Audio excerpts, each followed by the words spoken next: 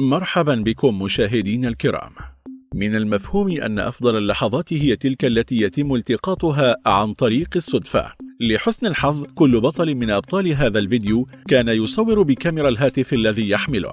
سأريكم مشاهدينا الكرام أفضل الفيديوهات التي التقطتها أشخاص بالصدفة لكن لا تنسى أن تشترك بالقناة وتفعل زر الجرس حتى لا يفوتك شيء. فلنبدأ.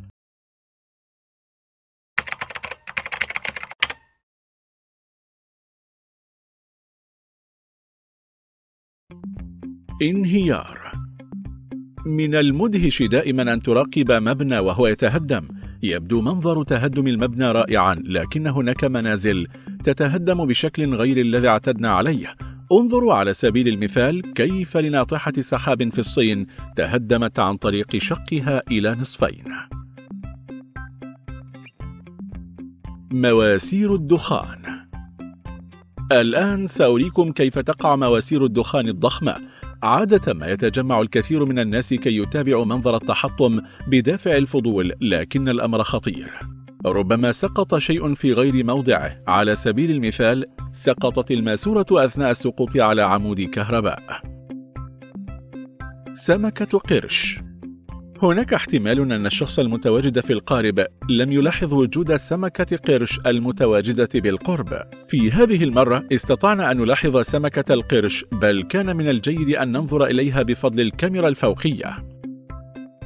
البالونة نحب جميعنا البالونات لكن اتضح أن البالونات ليست على درجة عالية من الأمان كما يبدو من النظرة الأولى لها تحول منظر الاحتفال في كليفلاند إلى كارثة حقيقية في عام 1986 كان من المخطط تحقيق رقم قياسي تسجله موسوعة جينيس للأرقام القياسية أثناء الاحتفال بإحدى المناسبات. وهي إطلاق مليون ونصف المليون بالونة هيليوم في السماء. لكن الهواء البارد ضغط على البالونات ودفعها مرة أخرى إلى الأرض مما أدى إلى شلل في الطرق السريعة وتوقف المطار عن العمل وتلوث البحيرة والنهر الموجودين بالقرب من المدينة ببقايا البالونات الملونة. موجة كبيرة.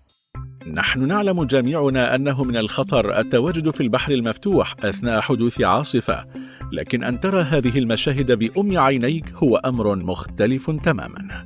انظروا كيف تلعب هذه الموجة الكبيرة بالسفينة كأنها مصنوعة من الكرتون.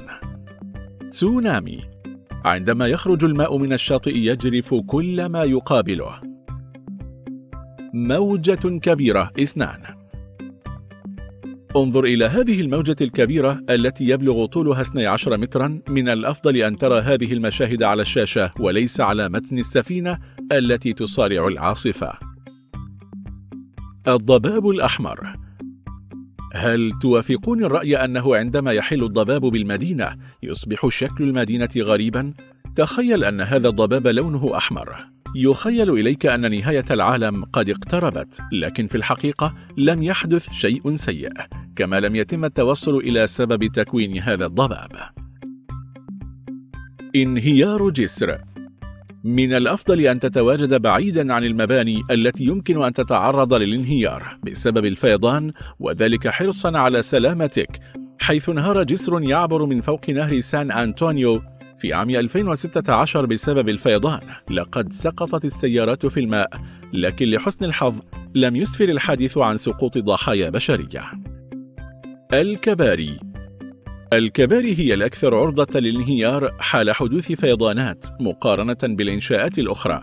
لذلك إذا شعرت بقدوم العاصفة فمن الأفضل أن تعبر الجسر في أسرع وقت ممكن. أشجار السرو. قامت تيارات الماء بابتلاع أشجار السرو الفارعة في لويزيانا في عام 2012 في مكان الحادث يوجد حقول للملح. من الممكن أن تغير هيكلها أدى إلى تشكيل هذا التجويف المائي تحت جذور الشجر لحسن الحظ تم إخلاء جميع الأشخاص الذين يعيشون بالقرب. ثقوب غريبة. تظهر الثقوب الغريبة على سطح الكرة الأرضية بشكل عام فكل ثقب يختلف عن الثقب الآخر في الشكل والحجم. هناك ثقوب خطيرة وأخرى أقل ضررا وأقل خطرا لكنها تسبب الكثير من المتاعب للسلطات المحلية. تطهير. إذا كنت أنا رأيت شيئا يشبه هذا المشهد دون سابق إنذار لارتعدت من الرعب. ربما يكون وحشا كاسرا يتحرك تحت الأرض لكن في الحقيقة هذه هي طريقة تنظيف الأرض التي تمر تحتها خطوط الأنابيب. يالوستين يتابع العلماء عن كثب أخطر بركان في العالم الموجود في يالوستون بدا في الاهتزاز في العام الماضي والآن لا أحد يستطيع أن يخمن متى سيثور مجددا.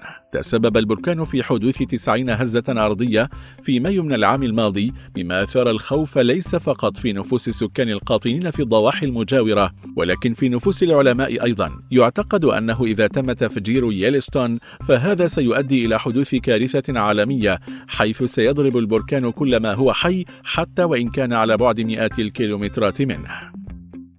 تورنيدو. التورنيدو يخيف البشر ويتسبب في الكثير من المشاكل لكن منظر التورنيدو رائع جدا. السد.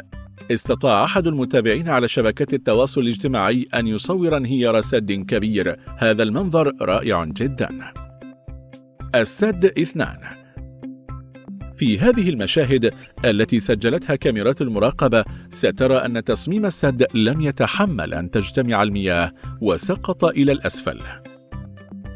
ثوران هذه هي أعمدة الدخان الكثيفة التي تتصاعد إلى السماء بسبب ثوران بركان. أحيانا يكون لون هذه الأعمدة الدخانية ورديا وبعدها يصبح قرمزيا. الثلج نحن واثقون من أن كل شخص منكم تعرض لتساقط الثلوج ولو مرة واحدة في الحياة. إذا راقبت كيف تسقط حبيبات الثلج الصغيرة من النوافذ فأنت محظوظ. أحيانا يكون المطر شديدا جدا. إذا كان حجم الثلج كبيرا فيمكن أن يلحق بك ضررا بالغا. نقل المنازل هناك من أعتقد أنه يقول إن المنازل أشياء ساكنة لا تتحرك لكن اليوم هذا الاعتقاد ليس صحيحا لأن المنزل يمكن أن تحركه من مكانه وتنقله إلى المكان الذي تريده. انظروا إذا كنتم لا تصدقون. البط. ساعد رجال الشرطة في كراسنادار سربا من البط في عبور الطريق إلى الناحية الأخرى. هكذا ينبغي أن يتصرف رجال الأمن وهو تقديم يد العون لمن يحتاج بغض النظر عن جنسيته وتوجهه السياسي أو حتى أيا كان نوعه من الكائنات الحية. التعميد. هل تسبح في أيام المعمودية؟ هذه العادة تساعدك ليس فقط في تقوية صحتك ولكن في التعرف على فتيات جميلات. مر من أمامها. حاولت فتاة جميلة أن تلتقط لنفسها مشاهد جميلة لكن الرجل الذي مر من خلفها جذب الانتباه إليه هو. انفجار. يقولون إن التدمير أسهل من التعمير. بالفعل تفجير مبنى أسرع بكثير من بنائه.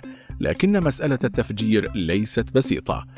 أن تفجر مبنى بعناية وبإتقان دون أن يلحق ذلك الضرر بأي شيء حوله هو علم قائم بذاته.